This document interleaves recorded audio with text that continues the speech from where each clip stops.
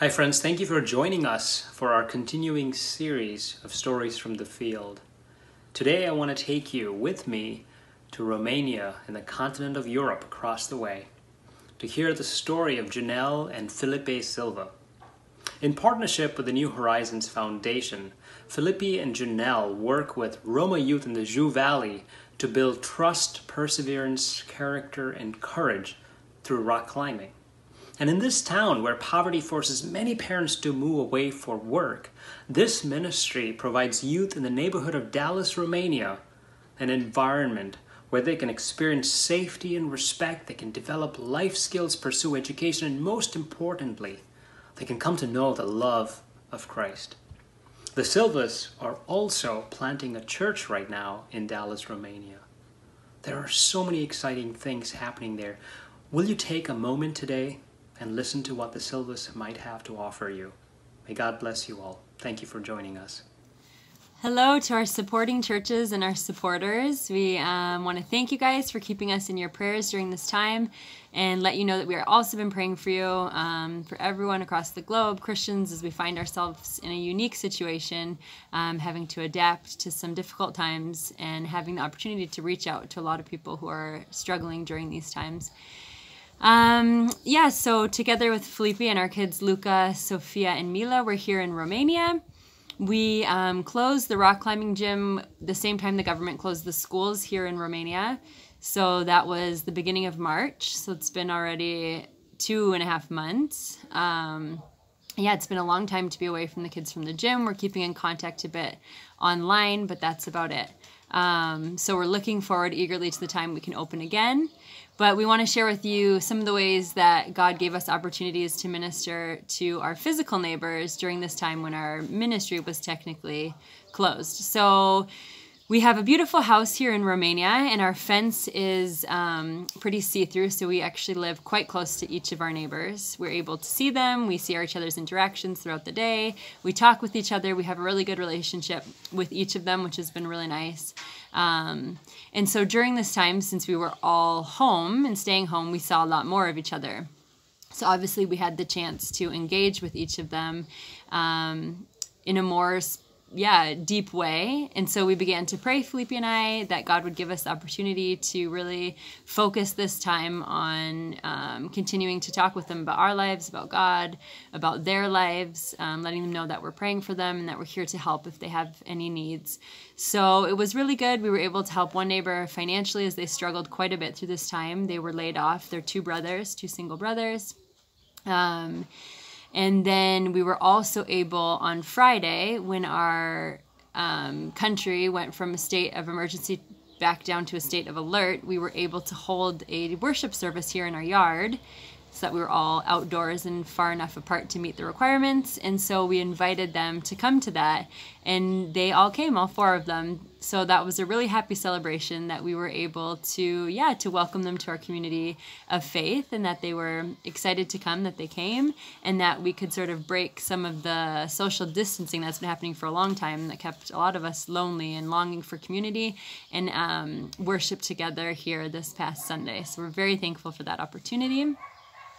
Um, another thing that was unique to us during this time of coronavirus that we see God's hand in the timing um, perfectly, of course, as God's timing always is, is that we had a couple who was homeless um, come to live with us. So this was at the end of February, right before the coronavirus. So Pardelian and Carolina, Carolina was seven and a half months pregnant at that time.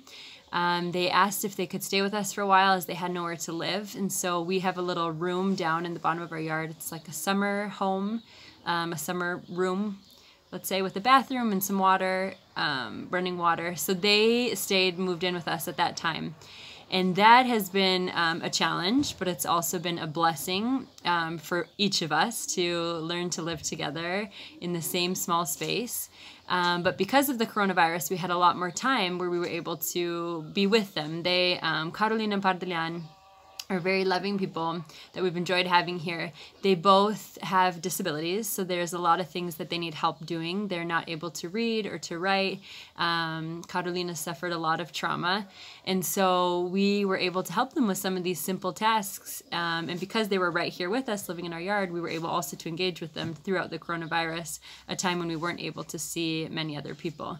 So, yeah, the Lord was faithful to us and to them to help. Um, their daughter Ana Maria be born in the end of March, and then to be able to help them with some of their paperwork and to be able to get some welfare, some money so they can have an income, um, as well as some help for Ana Maria because it was very difficult for them at the beginning when she was first born with simple things like feeding and bathing and so we were able to be with them through that which was really neat. And Pardi helped us a lot around our yard during that time so he was also very eager to help us and to um, yeah to love us back I think for a lot of the love that he received from us which was really the love of Christ in our hearts and in our lives um, and then a third neighbor, he um, was so intrigued with the way that we took Pardelian and Carolina in because he could see, he sees them, you know, daily, some of the things that they do. And sometimes Carolina will have outbursts of um, anger and crying and whatnot. And so he was very surprised to see us continuing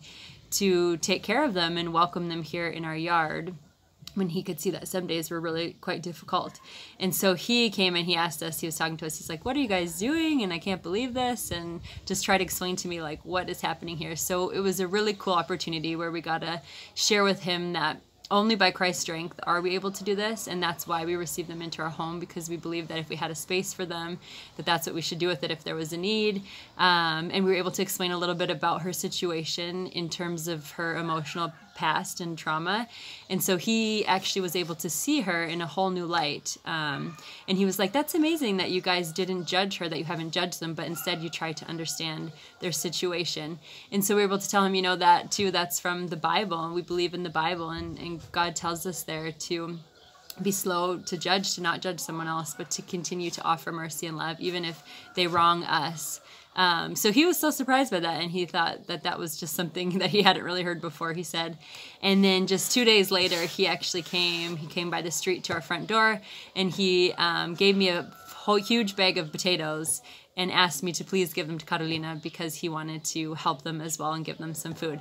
So that was such an encouragement to me, um, just to yeah have the opportunity to share with him what God did through us, and that was sometimes difficult, but we felt God saying, continue, persevere. It's not you who's doing it, it's me, it's my strength. Lean on me, and this will also be an example to your neighbors and to the people around you of how to be my hands and my feet.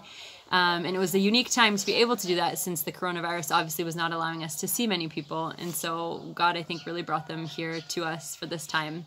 Now we're hoping to help them find somewhere to live in the near future. Um, yeah, so that was just an encouragement for us during this time to really love our neighbors that were right here, right beside us, that we saw more often because we were home. And a scripture that God brought to us that He put in our hearts during this time was from Psalm 68, where He says, um, I put the solitary in homes Another translation is He brings the lonely into families. So we just felt like that was really beautiful. Um, times that we could be able to help people who were quite lonely and who we saw God wanted to say to them, I am for you, I am with you, I care about you, I love you, and I will put you with my people so that you have community and that you see examples of my love, my grace, my mercy, my kindness, my compassion, and that you'll be pointed to me um, through this time so that God will be glorified. So we pray that He is glorified through all these things. Um, to Carolina and Pardi as well as to our neighbors. And we also encourage you in whatever way possible. I know it's difficult in this time, but pray that the Holy Spirit will show you ways to be creative. Reach out to those who are lonely. Um, and if you are lonely, know that Christ does love you. He is um, caring for you, and He will find His people of faith to reach out to you and take care of you as well.